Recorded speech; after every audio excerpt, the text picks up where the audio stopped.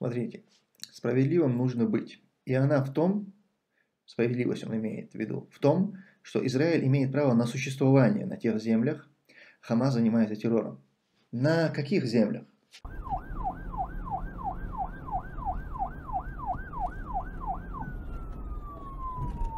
Салам алейкум, Тумсо. Адам получил награду за прорыв кишечника. Получается, ахматовцам раздают медали за нетрадиционные наклонности. Рамзан, мы с тошнотой наблюдаем за твоим семейством развратников. Алейкум ассалям. Здесь видите, видишь, Кадыров э, тебе, к тебе относится. Даже в твоем окружении, не говоря уже о чеченцах там, в республике и за ее пределами, даже в твоем окружении никто не относится с какой-то серьезностью к, к этому ордену, который ты вешаешь. Знаешь почему? Потому что он под твоим ведением, ты кому хочешь его даешь. То есть даже российский вот этот вот орден Героя России, он более как бы презентабельный, желанный для твоего окружения, чем вот этот твой, введенный тобой.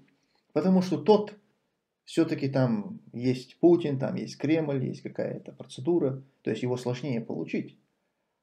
А этот твой, его вообще нет никаких проблем. Тебе ну, поглубже там подлизнуть, и ты и даешь этот орден. И это знают все. Поэтому нет даже каких-то дискуссий по этому поводу. Никто это даже не обсуждает, потому что никому не интересно. Твой орден никому не интересен. Понимаешь? А сына своего ты спалил. Томсо, как тебе версия Путина про гибель Пригожина? Мол, они нанюхались кокаина и забросали друг друга гранатами, что аж крыло оторвало. Я, я э, не исключаю. Я не исключаю и подобное, конечно.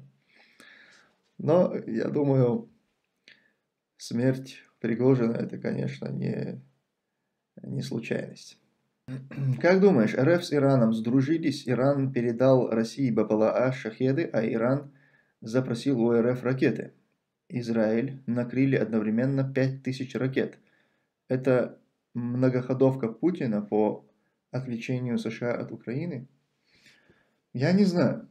Я не знаю. Я ничего, конечно, не исключаю. Все может быть. Это все очень...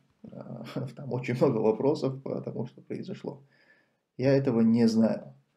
Но я точно знаю, а, кто в этом регионе является источником напряженности. Я точно знаю, кто должен а, отпустить захваченные территории. Вот это вот понимание у меня есть. И я точно знаю, что Украина, в первую очередь, а также и другие страны, не должны вот так вот безоговорочную поддержку Израиля. Поддержка Израиля в этом вопросе означает поддержка оккупации. Это значит, что резолюция ООН, а те страны, которые высказывают эту поддержку Израилю, они выступают против этой резолюции ООН. Понимаете, само словосочетание территории, а, защита своих земель оборона своей территории подразумевает, что ты выступаешь против этой резолюции. Если эти территории ты называешь израильскими, значит, ты признаешь, что оккупированные территории были оккупированы правомерно.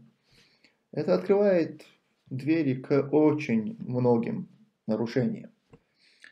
Ребят, вам на украинцев молиться надо в этом мире. В этом мире за вас больше никто, даже среди арабских народов, слова не сказал – а вы тут еще условия ставите, где и что нам говорить. Насчет арабского мира, который слово не сказал, ты абсолютно прав.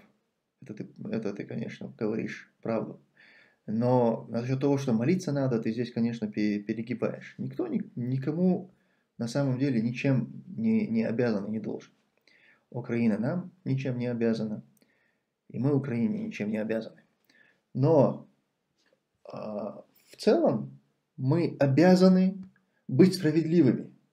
И чеченцы, и украинцы, и весь этот мир в своей основе обязан быть справедливым. И когда кто-то несправедлив, это выход э, против естества человека. Поэтому отойдя от этой темы, там, кто кому из нас что должен, мы никто никому ничего не должен, но быть справедливой обязана и Украина, и украинцы обязаны быть справедливыми. И вот эта позиция по Израилю, она несправедливая. Это точно. Смотрите, справедливым нужно быть. И она в том, справедливость он имеет в виду, в том, что Израиль имеет право на существование на тех землях, Хамас занимается террором. На каких землях? Израиль имеет право на существование, ты сказал, да, верно. Но на тех землях, на каких землях? На тех землях, которые были по, по состоянию на 67 год, да? Это ты хочешь сказать? Да, хорошо. Но если мы говорим о тех землях, на которых сейчас развивались эти события, если мы говорим о тех землях, большинстве, большинстве земель, которые сейчас просто оккупированы Израилем, то нет, это несправедливость. И это не я говорю. Это говорит о он. То есть вы здесь не можете сказать, Тумсо, что ты что ли решаешь, что справедливо или нет. Нет, не я решаю. И это не мои слова. Друзья, вы имеете в виду, что вот эта вот лицемерная позиция, она очень хорошо просматривается. Вы не сможете обмануть здравый смысл. Ведь это все прекрасно мы видим. Лучше вместо, вместо того, чтобы упорствовать в несправедливости, лучше наоборот проявите здесь справедливость. Призовите тех, кто высказался неправильно, призовите их к справедливости. Сегодня была тяжелая тема. Это, ну, для меня это тяжелая тема. А, это тяжелый эфир. Будем наблюдать за развитием а, ситуации. Очень, а, очень надеюсь, что, хотя даже не знаю, вряд ли в этой ситуации приходится на что-то надеяться. К сожалению, нас ждут не нас, а, ну да, нас в целом нас ждут очень кровавые, очень неприятные события. Очень жаль, что так происходит. И очень жаль, что э, некоторые страны и некоторые люди проявили такую несправедливость э, в этом вопросе, такую, такое двуличие, такое лицемерие. Берегите себя и своих близких. Вся хвала принадлежит Аллаху, Господу миров. Вассаляму алейкум рахматуллахи ва баракату. انتظريني انتظريني يا قدساه